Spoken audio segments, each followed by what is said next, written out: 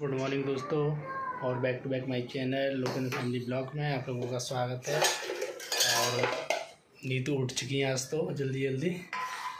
तो दोस्तों। और देखो नीतू ने चाय भी बना दी। और आप क्या बना रहे हो? आलू की सब्ज़ी। अब आलू की सब्ज़ी बना रही है। आज लेट हो गई उठने में। और क्या कहती हैं? तबीयत सही नहीं चल रही है। बुखार आया है ना तो पता नहीं कैसे बुखार चल रहा है शरीर को तोड़ कर आजकल वायरल बुखार चल रहे हैं तो इसलिए। कितने दिन हो गए बुखार आए लेकिन अभी भी शरीर सही नहीं हो रहा सर दर्द हो जाता है।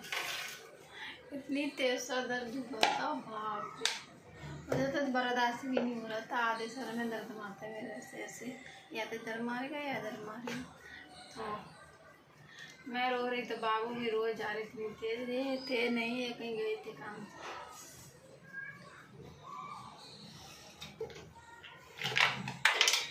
थी जब जाके बंद हुआ था। दवाई से बहुत देर बाद बंद बंद हुआ था। चल नहीं गिर गई और ये देखिए हम नीतू बनने लगी मसाले। खत्म थे ध्यान नहीं दिए शाम को तो पिसवा के लाए थे। मतलब शाम को ही पिसवा के लाए हैं तो उतना ध्यान नहीं दिया है। तो मतलब के पैकेट वाला नहीं पीस वो करते हैं यूज़ करते हैं अच्छा नहीं लगता है। तो खड़े मसाले लेके या तो घर पे ही मिक्सी में पीसे थे और घर में नहीं पीस खड़े मसाले सबसे अच्छे रहते हैं। तो नहीं पीस पाते हैं तो वहाँ से ले आते हैं पिसवा के। यहाँ पे पीसते हैं कई लोग। मसाला मतलब उन्हीं के पास होता है और मिक्सी में पीस के देते हैं। या उनसे जाकर पिसवा जाते हैं।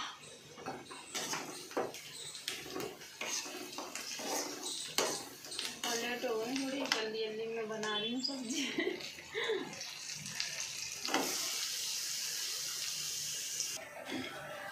ये देखिए, पराठे बन गए।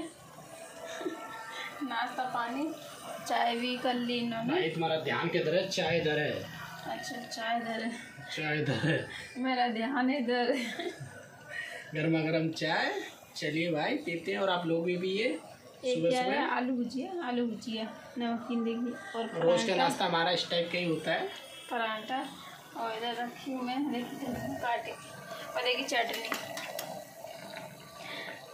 पता बहुत इतनी अच्छी खुशबू आ रही है ना। बहुत अच्छी आ रही सच्ची में बता रही हूँ। बहुत अच्छी खुशबू और पराठे में लगा के पराठे बनाए।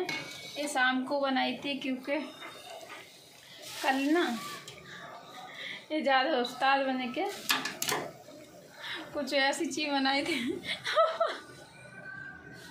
क्या बनाए थे? हमको तो पता ही नहीं था गर्मा गर्म पकौड़े पकौड़ों को भी पकौड़े बनाए मैंने। इतने अच्छे टेस्टी आज तक याद कर रही हैं उनको। आज तक याद कर रही हैं। ओह ये अंदर से ऐसा लग रहा पलटी आ रही है। तो वो क्या कहते हैं? मतलब आटा कर रहे हैं। नहीं मतलब बेसन बेसन में थोड़ा सा आटा डाले डाले होंगे। बोले थे मतलब टेस्टी बनाना सोच रहे थे।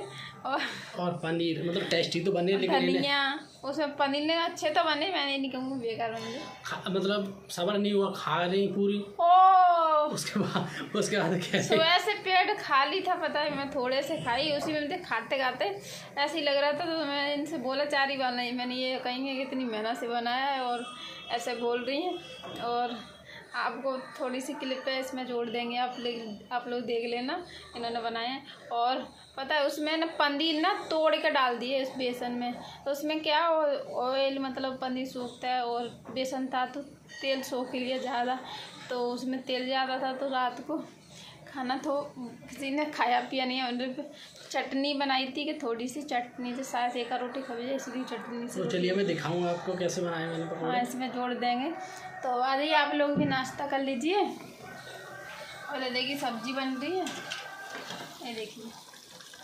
तो थोड़ी सी कसा रहेगी तो धनिया रखी काट के देखिए खूब सारा पानी के रख दी उसे ऊपर से ऐसे करके डाल दूँगी इसमें।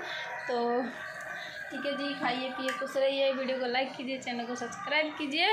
और मिलते हैं आपसे नेक्स्ट ब्लॉग में जब तक के लिए। नमस्कार दोस्तों।